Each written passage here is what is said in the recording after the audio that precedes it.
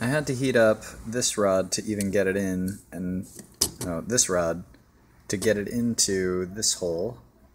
Uh, and I'm unable to get this side in at all, even if I heat it up. So I'm gonna have to work on that. Possibly reheating heating it super hot will work. I've been using a soldering iron, but hopefully I can, I don't know, get a blowtorch or something.